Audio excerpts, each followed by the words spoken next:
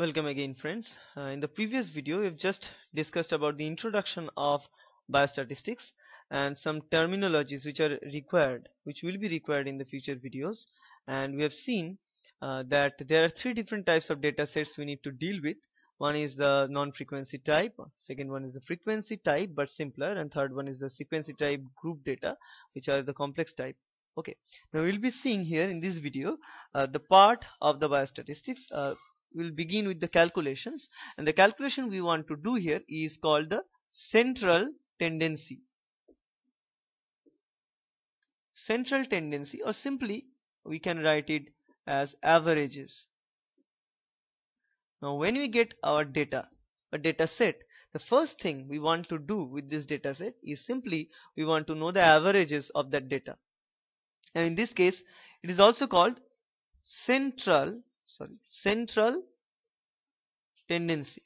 Central tendency means a data set to fall upon a particular region. Suppose you scatteredly take a, a examination in a class of 50 students in the class. You take an exam and among the exam you get uh, in 100 marks of exam exam you get a uh, few people uh, score at uh, 85 92 80 this score. So very few people and very few people scores like 35 40 48 like that. Most of the people score 60 65 70 so this is the range. 60 to 70 is the range. Suppose among the 50 students you get 35 students scored this.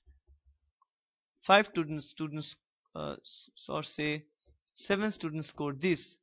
8 students scored this so among the 50 students, what we have the distribution of the students, maximum number of students are getting the marks between 60 to 70.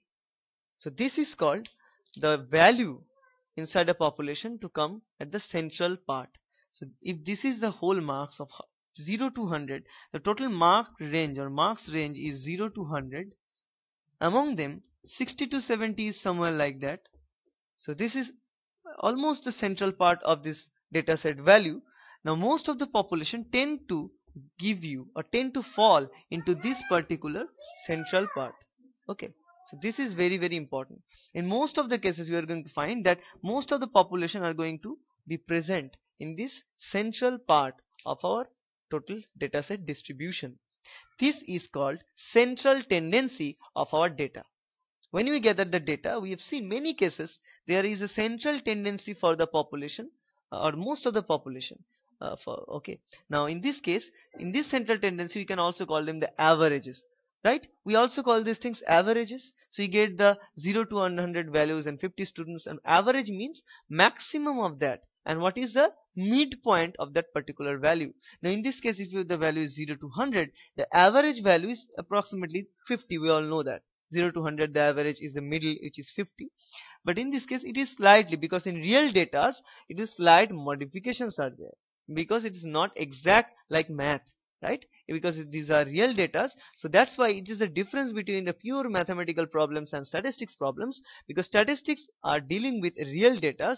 When we deal with real data the real data can vary because there are influences in the data because they are real people and you've taken the exam of real people. So there are different types of influences different type of influences onto the data which change your data from what to be the exact one. For in this case the exact data must be 50 but due to some many kind of influences the data set slightly slides to 60 to 70 range. Okay but still it's a central tendency of our data. So what we get the averages of that and in all the type of average we can divide into three different parts. One is called the mean or the arithmetic mean. So first is mean value which is also called the arithmetic mean value simply the average value. Second one is median. Third is mode. Okay. So this is these are the three types of values. Now we are going to see the different type of uh, examples on that. Okay we'll be seeing different examples with that. Okay. So let's take a frequency data. Simple. Uh, non-frequency data and look for the examples that we get from this non-frequency data which are the easier ones. Then we'll be seeing the complex type of data which are uh, frequency type and then group type of data. Now let's say this one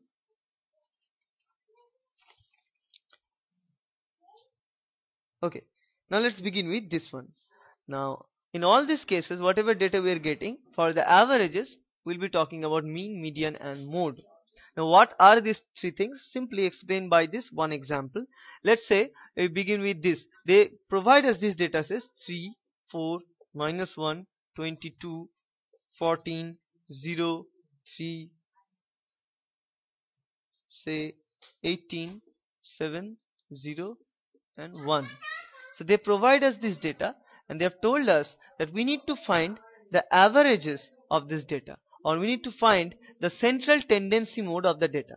Whenever they're called as the central tendency, we need to look for these three things, mean, median and mode.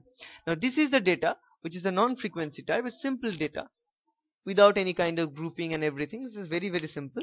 Now in this data, mean is simply, we all know that, to provide the average. So mean is simply mean the average. It's simply average now what he means by average? Simply we add up all the data. So adding all the data. So value of all the data divided by or simply I must write it here value of all the data. By value of all the data divided by number of data that are available right? Simply if, if somebody tell you that 3 7 8 these three things are there so what is the average? You simply uh, simply add all these things and divide them with the number of data which is 3 in this case. So similarly in this case so here we'll be adding all the data. So here will be 3 plus 4 plus 1 so so say this is the data. Plus 22 plus 14 plus 0 plus 3 18 701 there is no necessary for writing the zeros. Uh, I want to show you the whole process. That's why I'm writing. Otherwise there is no uh, way of writing. Now in this case these are the addition of the value of total data. When you get by adding all the data by so you need to divide this value. We need to divide it with let me erase this part you need to divide it with our number of data so what is the number 1 2 3 4 5 6 7 8 9 10 11 so we'll be dividing it with 11. Now what is the total value for that? Here, so let's say 3 plus 4, 7 minus 1 because plus minus it will be a minus 1. So my 7 minus 1 is 6 plus 22, 28. Then 14, 28 plus 14 is 42. Then 40, uh, 42 plus 3, 45. Then 7, uh, then 18. 45 plus 8 is 53 and 10, 63 and 70 and 71 right? So here it is 71 divided by 11 so here we get the average value. So if we look for the average whatever result comes in so it suppose 60 uh, 66 and then 5 6.4 something that will be the average. So this is going to be the average or mean for this particular values. So this particular data set. Okay. Now second thing what we need to find is median. Now what do we mean by this median? Median means is the exact middle range or the midpoint of a data set.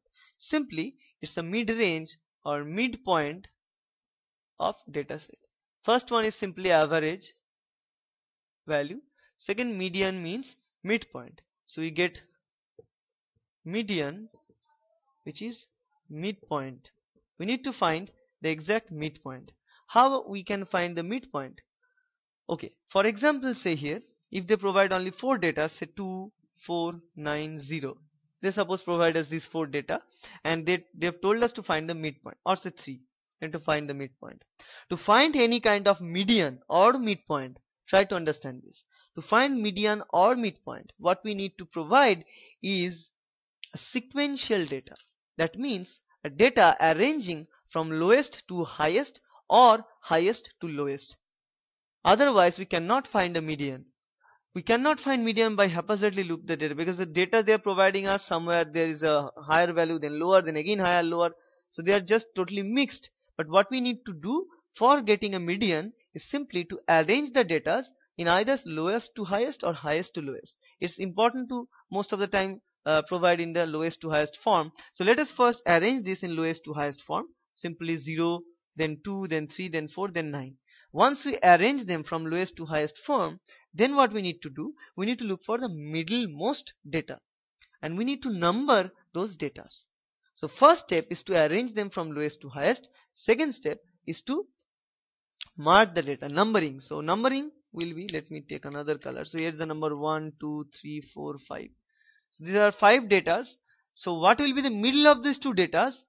This one, third one. Why? because if you take this third one as the middle data its left side contains 2 right side contains 2 so it is a balance so that's why you can tell this third one is the is middlemost value right clear similarly but if they give us this example say if they give us 2 9 8 4 if they give us this data and they they have told us to find the median for this data again what we need to do we need to arrange them. So we'll arrange them 2 4 8 and 9 numbering them 1 2 so numbering them with different colors. So let us number them with uh, this black color. 1 2 3 and 4 now we need to find the middlemost.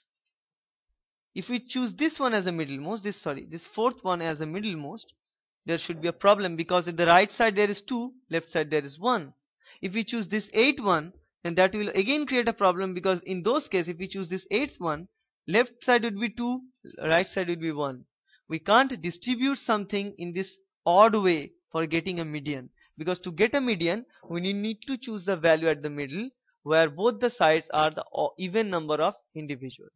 Now you have seen here if they give you a number of datas which are odd in number. Say in this case it is 5 which is an odd number then it will be extremely easy for you to calculate the median because you simply you get a middle value and only distribution should be there is equal in both the side as you get the odd value. But once you get the even number of datas in those cases it will be difficult because in even number of datas there, there shouldn't be any central because uh, these they are all even in number. So what we need to do instead of taking individually this one or this one we take both the datas that are present. So we will be taking 4 and 8 and take an average of these two middle datas. Okay so we'll take the average. So we take 4 and 8 we get average. So two datas by 2 so it will be 6 so then we'll tell this yes the median for this even number of data is 6 which is not even in the dataset that they are provided. I repeat, which is not even present in the dataset that they are provided. Why need to do this? Because once we provide 6 at the middle, sorry,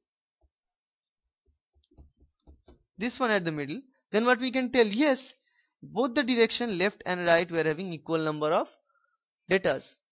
Then we call this is a median. So for, for something to be a median, it must be present at the exact middle having similar number of datas at right and left. So once if we get an odd number it will be easy to calculate. If it is an even number value then we need to do uh, average of the middle two middlemost values. Okay and that average is going to be the median for that value. Okay so this is what is median calculation all about. Now in this example what we get. We need to arrange the data. So 0 will be last. Again another 0 and another important thing if the data is repeating some value we must include those values number of times that are seen in the data. For example say here are zeros in two places. So we must place 0 two zeros not one zero. The number of data that they'll be uh, they'll be telling us we must calculate all the data. Okay that's another important part.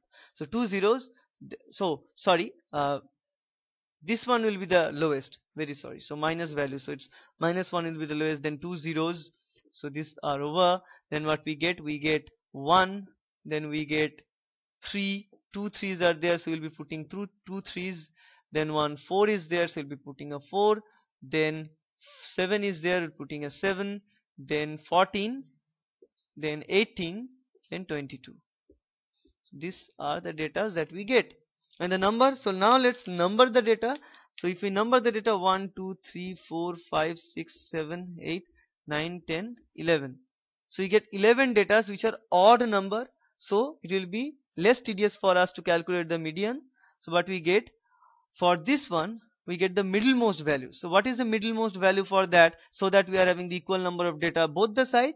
It is sixth one. Because if we choose the sixth one left hand side we are having 5 so we are having 5 right hand side we are having 1 2 3 4 5 so this one is going to be so the data represented at the sixth position is here 3 so here the median will be 3 so 3 is our median.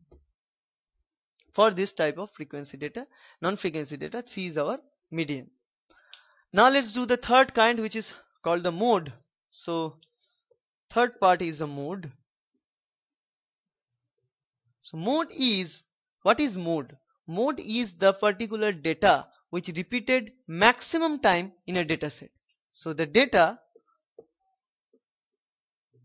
repeated maximum time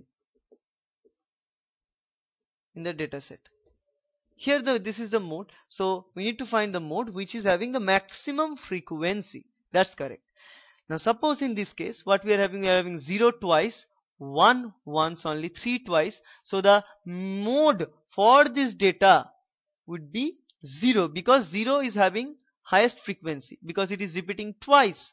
And also 3 which is also repeating twice. But rest of the values are repeating only once. So the most common value of the data set is called mode. Most common value of the data set. And here the most common value is so most common value in a data set. Here it is 3 and 0 so we write both 3 and 0 is mode for this particular data set. Okay so there are the three things. Simply this, this is the most common. So let me write most common. So simply mean means average arithmetic mean. Median means which is the exact midpoint of the data set. And mode is the most common value of the data set most common data uh, of the data set or which is the most frequent data okay so these are the three different calculations of the central tendency for the non-frequency data or simple data. In the future video, we'll be taking out the frequency data and group data to uh, and also we'll be looking at this three type and how to find these three things for those complicated data. Okay, so that's it and I hope this video is helping you. Thank you.